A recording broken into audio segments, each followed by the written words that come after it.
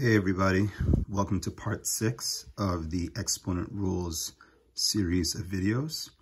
And uh, where we left off in part five is this problem here, okay? Using the power rules. So I'm going to expect that you all tried this problem already, all right? You did your best and you wanna see if your answer is right. So let's get right into it.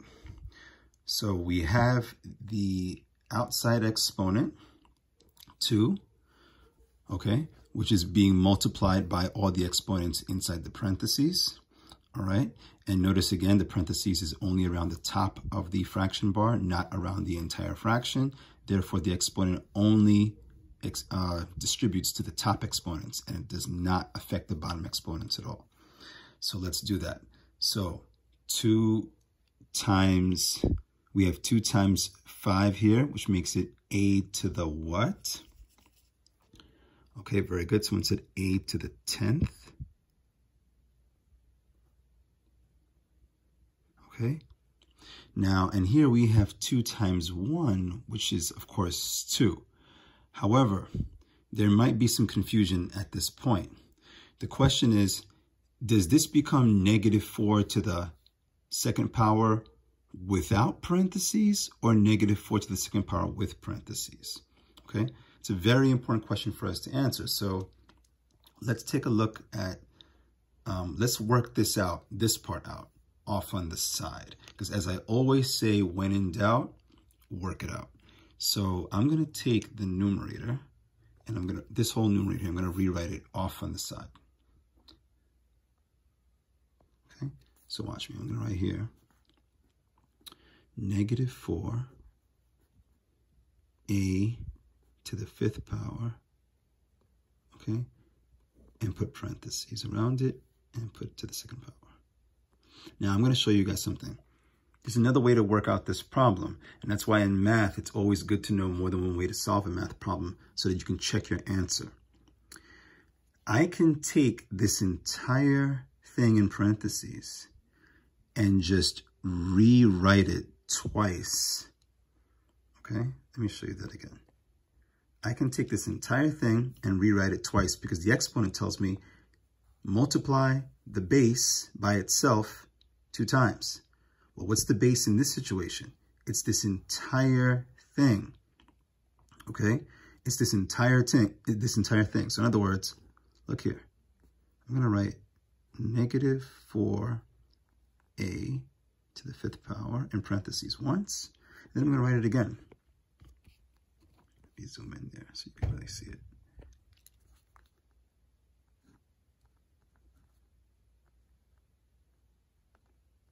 Okay, see that? So, I want you guys to understand something. This is no different than if I said, watch,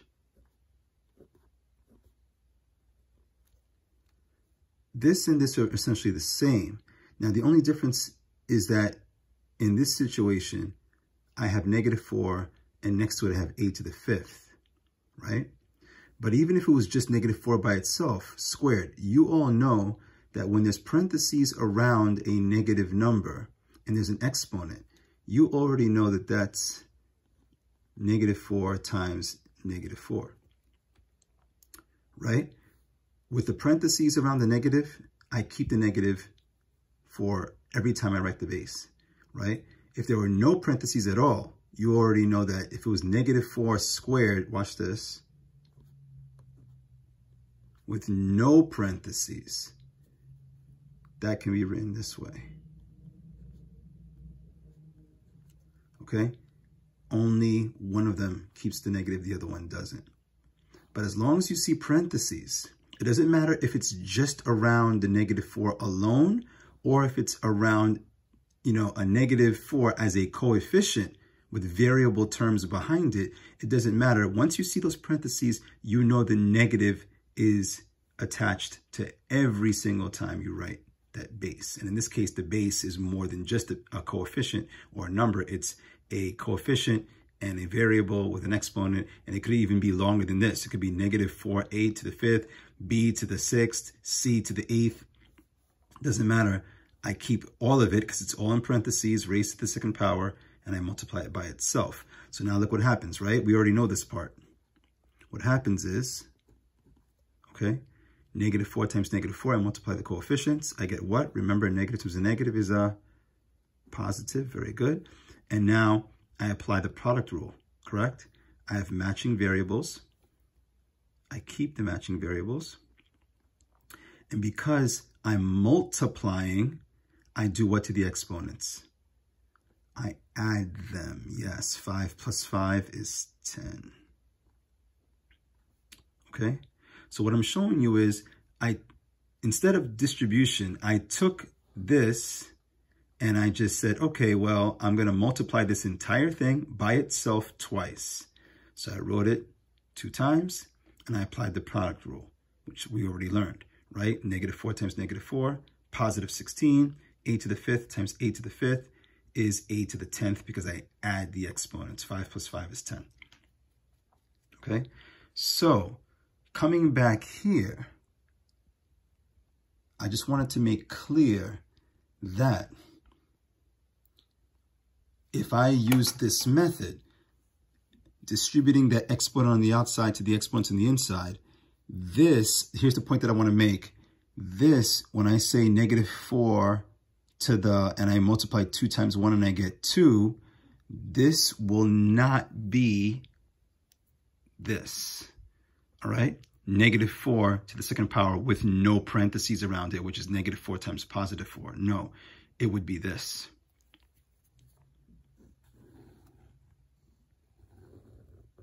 That's what I want to make clear, okay? I want to make clear that these parentheses around the negative 4, which tells me keep the negative for every single time I write the 4, is the same thing that's happening here. Don't be confused by the fact that the parentheses in this case is not around the negative 4 by itself, that there's other stuff inside the parentheses with the negative 4. No. Okay. You could actually, to make it less confusing for you, even if you see, you know, like a long variable term, what you are allowed to do, okay, is we can take this negative 4 and then just kind of like put an extra set of parentheses here to make it very clear that when I distribute that 2 to the 1, it's going to be negative 4 with parentheses around it to the second power. Okay? So if that makes it less confusing for you, do it. Okay? And you, this is the, um, the only time you need to do that is if you see a negative, right? If there was no negative here, then it wouldn't matter. It wouldn't matter. But because there's a negative here, negative 4, okay, my coefficient is negative, I need to know very clearly that when, that when I distribute that exponent to the invisible one, that this becomes this, negative 4 with parentheses around it still to the second power. Because then I know I'm multiplying a negative 4 times a negative 4, not a negative 4 times a positive 4. All right? I make that very clear to all of you. All right, let's keep the fraction bar and the bottom stays the same. Okay? And again, it stays the same because these parentheses, I want to say for the last time, these parentheses is not around the entire fraction. The parentheses are not around the entire fraction. It's just around the numerator. Okay, the parentheses is just around the numerator, not around the entire fraction. So therefore, I do not distribute the exponent to the bottom just the top, and therefore I keep the bottom the same. All right, now let's continue. So we're going to, let me just kind of rewrite it underneath. We um, have negative 4 in parentheses to the second power. I have a question, okay? Do I drop this to the bottom of the fraction bar because the 4 is negative? Yes or no? Okay. Someone said, yes, Mr. B, because you want the negative to be positive And when you cross the line, you change the sign. Is that right? Okay, someone else is saying no, Mr. Barbier, because you only need to do that when the exponent is negative, not when the base is negative. That is correct. We are not going to cross the line and change the sign here. No. Look at the exponent, 2. It's positive. So I don't need to do anything. I don't need to move this down because I'm changing the exponent to a, you know, from negative to positive. It's already positive. It's the base that's negative. So don't get that confused, ladies and gentlemen. What I'm going to do very simply is I'm just going to evaluate this, negative 4 to the second power. But wait a minute, we already did that, didn't we? We kind of did it up here, right? Negative 4 to the second power is negative 4 times negative 4, which is what, someone? Which is positive 16. Yes, because a negative times a negative is a positive. So coming back here, I know my answer here is positive 16. Okay? I keep the a to the 10th. I keep the fraction bar. I keep the 7b to the third. Now, a couple questions I have for you. Does 7 go into 16 evenly? Okay, no, it does not, right? Now, if the 7 were an 8, different story. Now you can say, okay, 8 goes into 16 twice, but it's not an 8, it's a 7. So you might see, Mr. Barbier, what do we do? Leave it alone, okay? We leave the coefficients alone. One more question. Can I say 10 minus 3, 7? Okay, someone just said, no, Mr. B, because the bases don't match. They have to be the same variable, correct? This is A, this is a B. So because the bases are not the same, I cannot subtract the exponents. Ladies and gentlemen, this is the answer. Okay, we're done. There's nothing, there's nothing more that we can do. Okay, very good. All right, let's continue. Here's number nine. Now, if you are feeling, you know, uh, confident, try it. Okay, try it yourself, give it a shot, pause the video, and go for it. I encourage you to. Okay, I'm going to expect at this time that people have unpaused their video and tried it, right? You don't mind whether you got the answer wrong, whether you got the answer right. That doesn't matter to you. Trying is how you learn, yes? So make sure you try. Even if it's wrong, it doesn't matter, okay? You gave it a shot. All right, let's go. My question to all of you now is this. Do I say, okay, negative 5 times 2, multiply the coefficients first, negative 10? Is that my first step? Some of you are thinking, yeah, is that the first step? That's what I did. But my question is, look again and see if there's something we must do first before we can multiply the negative 5 times the positive 2. All right, someone said, wait a minute, Mr. Barbier, you have an exponent right here. Do I need to do something with the exponent first?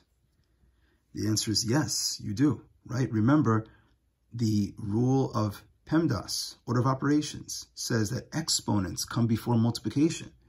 Exponents is step two, multiplication along with division is step three. We cannot multiply negative 5 and two first if there's an exponent here. No, we must apply the exponent first. That is our number one responsibility. Some of you might say, well, but can I just multiply first and do the exponent later? No, you cannot. Okay? You must uh, take care of the exponent first before we multiply. Order of operations still applies, ladies and gentlemen. Okay? In math, the rules never change. So you learned PEMDAS a long time ago. It still applies today with this situation, with this problem. So let's distribute. Now, let me ask you again. Do we go right or do we go left? Okay, we're going left with the exponent. First, you should do what? Put your invisible ones, right? I see y doesn't have an exponent. I'm going to give it an invisible 1. And don't forget, I see negative 5 needs an invisible 1 also. But like we just covered in the previous problem, I see a negative. So just so that I don't get confused, I'm going to do this. Okay? Once you see that negative sign, put the parentheses so that you know that when we distribute that 2, let's do it now, 2 times negative 1, we know that it's negative 5 parentheses around it to the second power.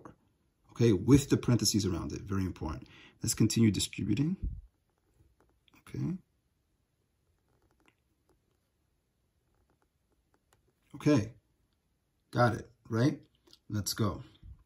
So we have 2 times 1, which gives me, let me zoom out a little bit, which gives me negative 5 with parentheses around it. Don't forget those parentheses.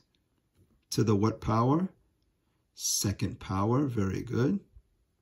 Right? And now we have 2 times 4, which gives me x to the, okay, very good, eighth power.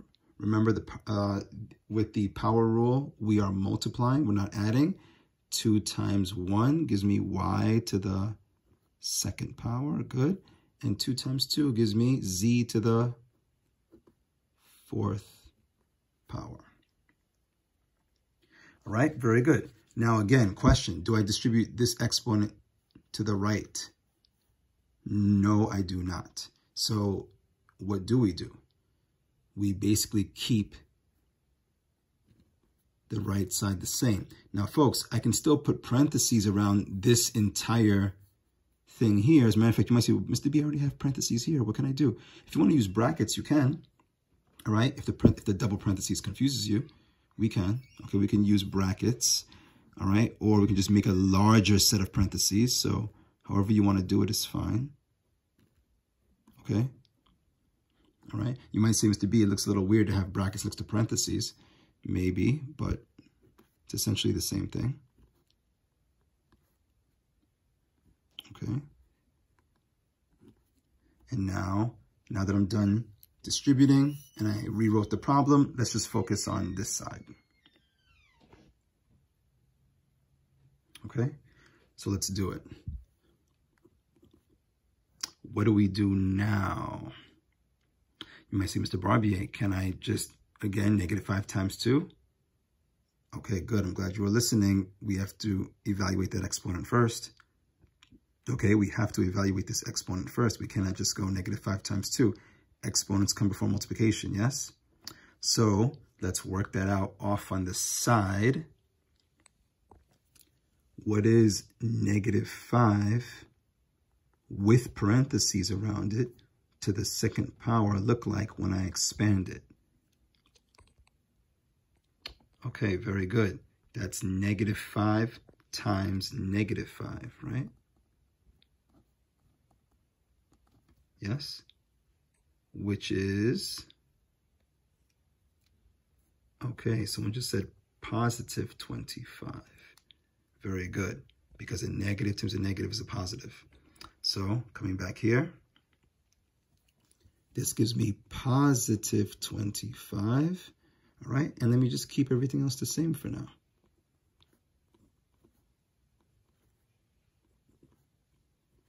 Okay, and now that we have those inner parentheses gone, we can go back to standard parentheses.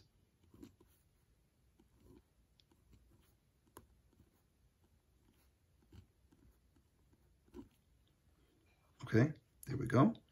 Let's continue. One last row to do. Now that the exponent has been evaluated, all right, and we have no exponent by the coefficient, now we can multiply the coefficients, okay? Because the exponent by the coefficient has been taken care of, all right? So let's do that. 25 times 2, multiply the coefficients. 2 quarters, ladies and gentlemen, is how much? Okay, someone just said 50 cents. Very good. I just did that mentally. And now let's multiply the variables uh, that match, right? x to the eighth times x to the third. What do we do to the exponents? we add them, correct? Please don't multiply in this case. Remember, you only multiply when you have a exponent outside of parentheses. Like imagine that 3 were here outside. Now I go 3 times 8, 24. I'm not distributing an exponent. I'm multiplying a matching variable x to the eighth times x to the third, which means I add the exponents. So what's very important, ladies and gentlemen, is that you don't get the rules confused. You know when to multiply exponents and you know when to add exponents. In this case, we're adding 8 plus 3 is 11. Very good. Okay, let's continue with the y's. Let's go in alphabetical order. y squared times y to the sixth is y to the what? Remember again, add the exponents. 2 plus 6 is 8. Very good. And let's look at this. We have, hold on. We have z to the fourth and no z over here. So what do we do? We just keep the z to the fourth. Ladies and gentlemen, we're looking at the answer. Finito. Done. Okay, done. All right, one last problem.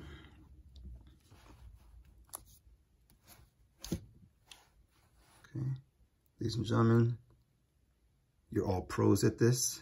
Pause the video, give it a shot. Go. Okay. I'm assuming you've tried it, you've unpaused the video, you're ready to see if your answer is correct. Let's see. Okay, what do I do first? Okay, you tell me, you're the teacher. Okay, Mr. Barbier, you're gonna put the invisible ones. Where? By the eight and by the Z on the bottom. Okay, my question to you is, are we distributing the two to just the top or the top and the bottom in this case. Okay, someone just said, Mr. Barbier, in this case, we're distributing to top and bottom because the parentheses is around the entire fraction. Very good. Distribute top, okay, and bottom. Because the parentheses, notice, ladies and gentlemen, goes all around the fraction it wraps the entire fraction. Okay, let's continue. So we have 8 to the what power? Oops, sorry. We're multiplying 2 times 1, right? Which is 8 to the second. Very good. Also known as 8 squared. Then we have x to the what? x to the 14th. Very good. Draw the fraction bar we have y to the what? Okay, someone just said y to the negative sixth. And we have z to the what? z squared. Very good. Okay, next step is let's, so we have options, ladies and gentlemen, in this case. We can evaluate the 8 to the second power first, just get it out the way, especially because the exponent is positive. So we don't have to worry about, you know, remember, we couldn't evaluate this if, there was, if this was 8 to the negative second power. We'd have to make the negative a positive first. But because that exponent is already positive, there's no need to make it negative because it's already positive. I'm sorry, make it positive because it's already positive. So we can just say, you know, evaluate that now and get it out the way. So let's do it. So 8 squared is what? 16? Is that correct? Okay, see what I just did? I was trying to see who was paying attention. It is not 16. What is it, ladies and gentlemen? It's 8 times 8, which is 64. Very good. Okay, be careful about making careless mistakes in math. So now I'm going to just keep the x to the 14th power. All right.